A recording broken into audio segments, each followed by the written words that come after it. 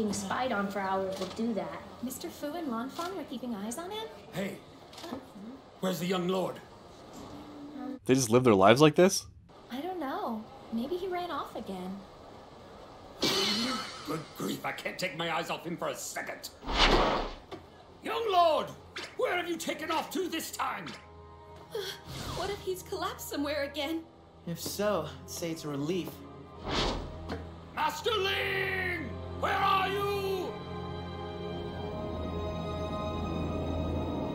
Well, he hasn't collapsed. He's just standing dramatically on this roof. Something about this country doesn't feel right. Very observant. Episode 16 Footsteps of a Comrade in Arms. Since it's night now, I can go and cut someone up, right? You gotta give me something. He's not the only one who's bored. How much longer am I stuck here keeping watch on this guy anyway? What does the colonel say? Don't worry about your other duties. But if anyone, even military personnel outside of our unit, sees you, he'll have you court-martialed before you can blink. I don't suppose you have any news of a happier sort to report. Indeed. Oh, Falman, I found myself a girlfriend! A new one? Already? This guy moves fast. Hey, do you think this new girl would be fun to cut up? Come on, what do you say? Can I Please, just get out of here.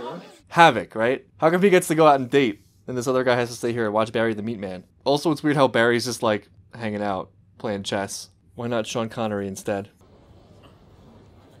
Hey. Oh, he are did you collapse. okay? Well, you're a long way from home, all right. I'll need to see your entry visa, please. Oops. Out of the way, everyone. Illegal alien coming through! Young master! Where are you? He's in trouble again. He's collapsed, I'm sure of it. Okay, guess we should stop by the military offices first. In that case, I think I'll head straight to the Hughes' house and let them know I'm in town. Oh no. We shouldn't be all that far behind you. Okay, see you later. I wonder if Lieutenant Colonel Hughes has put together any more information on the Philosopher's Stone since we left. They're really dragging out the pain, huh? I think it's best if we give Hughes the information that we found out first. The homunculi. Yeah. I'm pretty sure Hughes said he was in the court-martial office. Hmm. this way. Yeah, Hughes figured it out, right? Or at least he figured out a lot of it. I don't want them to go here. I don't want to go through this. This is gonna suck. I feel like I'm walking into a trap willingly. I wonder how they'll react to it because I can see them also taking this very personally, like Roy Mustang.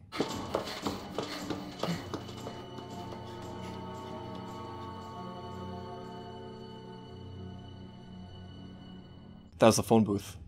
Sheska! Yes? You have the key for room number three, don't you? Yes? Oh, oh, wait! It's still a total mess from when I was using it earlier. It's fine. I just need it to gather some documents, that's all. If you could just wait a moment, I'll clean it right up for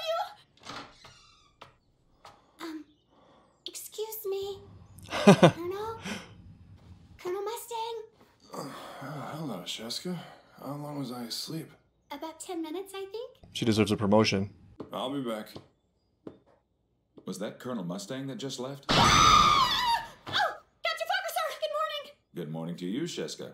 Tell me, what was he doing here? The storeroom door is open. I'm sorry! I opened it, sir! I'll bet the Colonel twisted your arm, didn't he?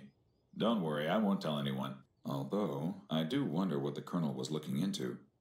Do you know? Ooh, what is this guy up to?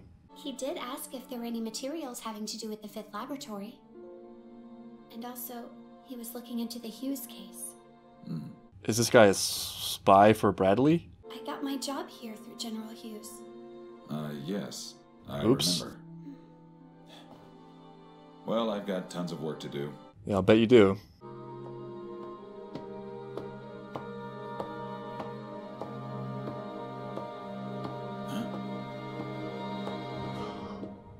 What?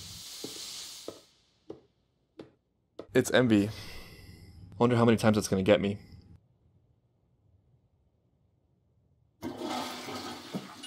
Hello, sir. Hey.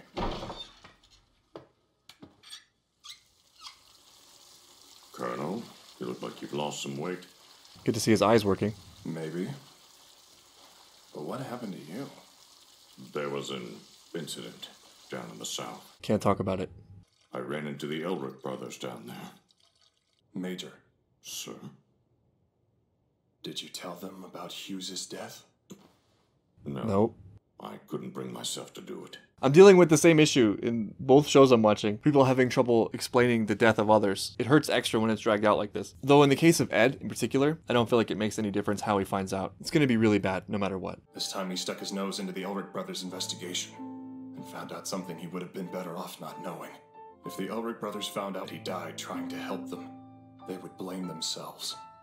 So, you're not telling them was kind. Be careful, sir. You never know who might be listening in on you. If you'll excuse me.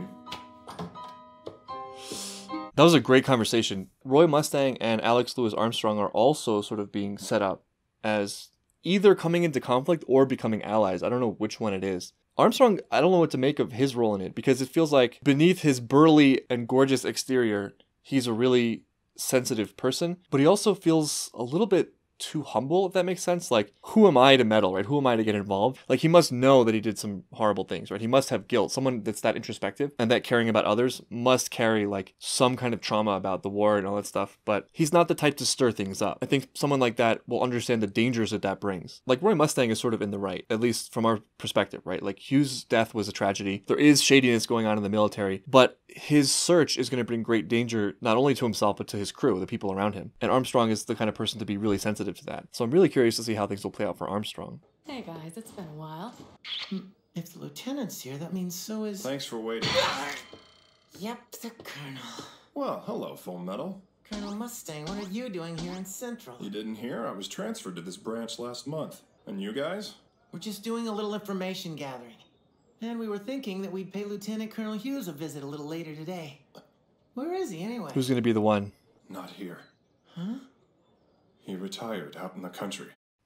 Come on. Someone's got to man up around here. You're just making it worse. Full Metal. Hmm? Watch yourself. Don't do anything crazy. That's what Armstrong said.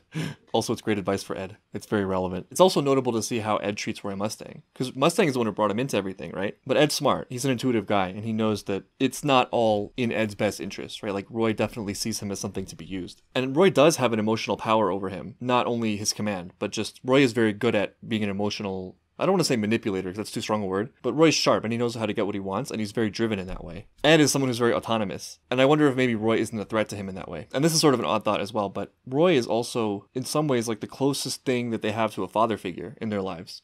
And they don't have great history with that. And so the fact that he's kind of in that role but he can't be trusted, it just adds a whole other dimension to those feelings. Now you've decided to treat them like children? There's no need for them to know just yet.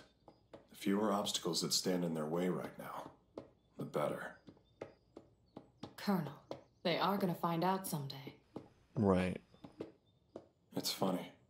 I've accused Armstrong of being soft, but right now I'm no better than he is. That's true. I fail to see anything soft about it. It's cruel, Colonel.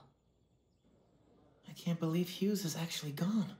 Oh, I almost forgot, brother. We need to tell Winry about all this. Hmm? She went straight to the Hughes house. Yeah, you're right. They're going to find out, like this episode. Lieutenant Ross! I haven't seen you two here in a while. You're in a hurry. Why the rush? We just heard about Lieutenant Colonel Hughes. It's rough news, huh? There was still so much that we wanted to tell him about. We would have liked to say goodbye. We weren't able to reach you. Don't worry, though.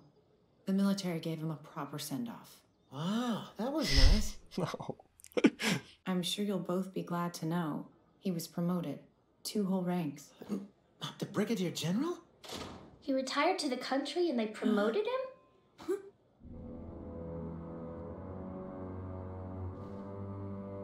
Lieutenant Ross? This is coming out one way or the other. Not the Lieutenant Colonel. Why him?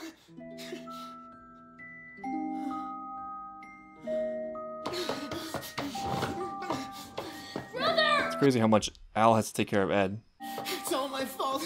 I'm the one who pulled him into this. It's all my fault.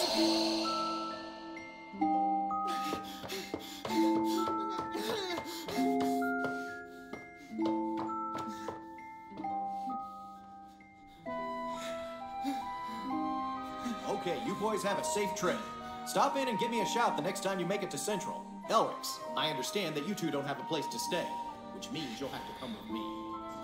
Ed, man, he has the way of just taking everything as his fault. I can't help but wonder if part of that is a reaction to a lot of things going wrong that are outside of your control, you know? Because maybe in some level, thinking everything is your fault gives you back some illusion of control. Like, by blaming yourself, at least you give yourself something to do, right? Like something to focus on. That isn't the terrible thought that just like anything bad can happen to me at any time. But whatever the reason, Ed has sort of dug himself into a hole because now everything is his fault. And he's in this cycle that everything that happens causes him to be more driven towards this goal at the expense of other things in his life, or at least at the expense of him understanding the other great things he has in his life. And he just gets deeper and deeper into this. And the only thing sort of keeping him in check is Al. Al has been forced into the role of caretaker for him, even though he's the younger brother. Al doesn't even have time to cope or focus on these things on his own terms because he has to focus on Ed all the time. Oh no, now we're gonna have to watch Winry go through it too.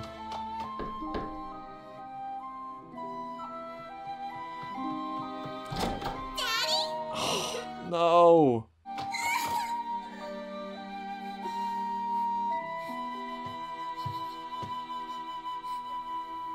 Do we do? I'm the only one who has to take the blame for what happened. This isn't just your problem. Right. Like it or not, I'm going in with you. Thanks, Al. But you really don't have We to. We made up our minds. We said we were getting our bodies back no matter what. But if people are going to die because of that, then I don't want mine back. Wow. Winry's already here. Right. I'm sorry, but there's something I need to talk to you about. About Maes? That's right. You too, Winry. So Maes learned things about the Philosopher's Stone that someone didn't want him to know. His death was a message. A warning to you from whoever did it to back off from all this. That's not totally the truth, though, right? Was it a message to Ed? It seems like that's just his interpretation. It just seems like they were killing Hughes because he learned too much. That would be just like him, dying while trying to help somebody else. I don't think he ever had regrets, not even in his dying moments, Edward. don't tell me you're going to give up. If you do, then that means my husband died in vain. Even if the Philosopher's Stone is a dead end, there might be some other way. You boys have to keep moving forward. Any way you can. Wow.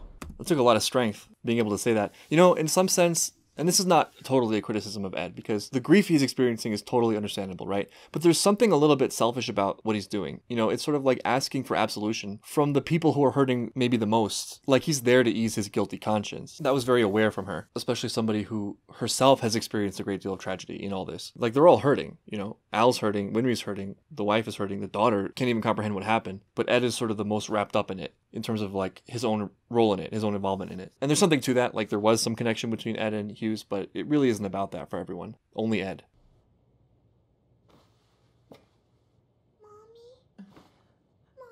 Please don't cry.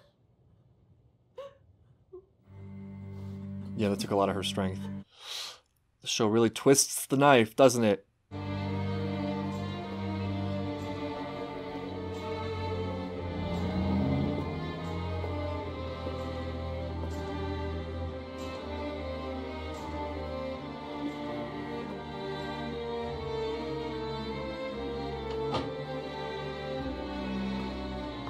Winry putting on a brave face too.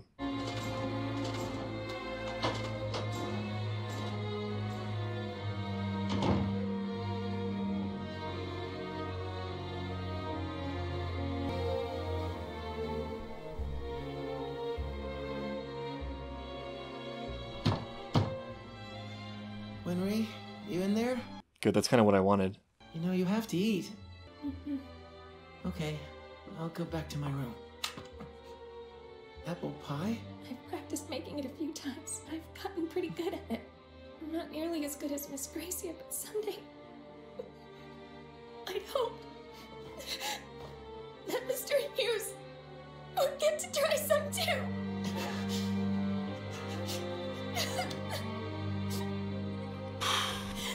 Apple pie, huh? It's a terrible day for apple pie. that makes no sense what I just said. Oh well. When I saw them alone, I was hoping that they'd have a moment together. It would have been nice if Al was also included, but yeah, it does them no good to separate like that. How much are they gonna go through, these guys? They go through so much. It's only like what are we 15 episodes in i guess it's enough for al to have a change of heart right which you know for me it's like I mean, yeah, you know, if this is what it leads to. I feel like Al has his head on straighter than most. He kind of already knows what's what's important. But at the same time, there's no going back. You know, they're, they're in way too deep. And while there are some emotionally negative elements to their quest for the Philosopher's Stone and for their bodies, there's a lot of good that comes out of it too, right? Like, it's good that they're searching for something. It's good that they have a goal. It's good that they have common purpose together. It's all of those things. But you just hope that this kind of journey doesn't destroy them, right? Because I feel like that risk is there. How much can you go through before you get really cynical or hateful or like, you know, like Scar, who's so focused on revenge that he, he can't see anything else. So the nosy Colonel Mustang is snooping around the Hughes matter? Mm-hmm. Do you think he discovered anything yet? It's a definite possibility. Didn't fool me that time. We already moved him to Central where we'd be able to keep a closer eye on him. Why can't he be a good boy and behave himself? I'd hate to waste an important sacrifice candidate. Haven't been able to learn anything from your new boyfriend? Nothing. He's either a born idiot or a clueless hustler. oh no, it's Havoc! Come on, Gluttony. Don't leave your mess lying around. You slob. Hmm. What you said before about how much nicer it would be if the Flame Colonel would behave himself. Yes. How would you feel about us making another play? You have something in mind? Well, we've got a noisy mutt. Perhaps all he needs is a nice bone to chew on. What does that mean? Second Lieutenant Maria Ross. I'm Henry Douglas from the Provost Marshal's office. You'll have to come along with us. Your gun. May I ask what this is about? You've been named as the primary suspect in the Brigadier General Hughes murder case. Please come along. That's absurd! You can tell your side of it later. They're good. Second Lieutenant Maria Ross, pleading not guilty on all charges. Gather whatever information you can about her. Go now. Quickly, but secretly. Right.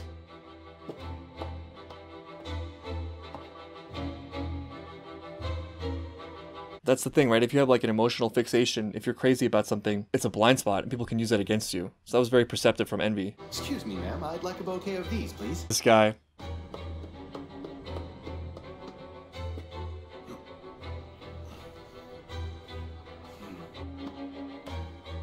You've been waiting long, Solaris? Oh no, I just got here. She cleans up nice. So good to see you, Jean. Why don't you Jean. sit down and tell me all about your day? Ah! what the heck? That episode's crazy. It's just one thing after another. It just hits you again and again. Just twist the knife in. The name of the show should be Full Metal Alchemist. Brotherhood. Twisting the knife. Because that's all they do. Just one thing after another. We've had like one or two episodes only that didn't do something knife twisty. I miss Rush Valley. Rush Valley was like one of the only episodes we got that was light, lighthearted. Well, if the characters weren't emotionally driven before, they're even more so now. One question that came out of this episode for me, even though it was just a short scene, is I'm really wondering for the first time where Armstrong's story is gonna go. Weirdly, he's one of my favorite characters. I guess that's not uncommon, right? Like he's just so cool, funny, muscular, but he's a sensitive guy on a weird side of things. He's living in that category of like characters who are good but are not really involved. But something about this show tells me that you can't be uninvolved. Like there is no uninvolvement. Everything is aside. Everything's gonna come to a head. I gotta say the show does a really good job of building, maintaining, and enhancing tension, and in a, in a good way too. Like the whole not knowing about Hughes' death, that could have been stretched way out over multiple episodes. I'm glad it was resolved here. So like those kinds of things are small, but in other ways the stakes keep getting raised. Like the emotional stakes for Ed are higher, and not just him, but Winry and Al too. Roy's career is ramping up, and that's affecting the people around him. The Ouroboros or Homunculi or whatever, they are increasingly becoming more involved. Like we see more of their side of things, and we see how intricately woven they are with the military. Right? It seems like they have free access to it in a way which makes sense because of Bradley. So yeah, it's all very exciting, even if it's tragic. But that's the end of this episode. I'll see you next time for... Are there seasons in this show? I don't even know. Is it season 2, episode 3, or episode 16?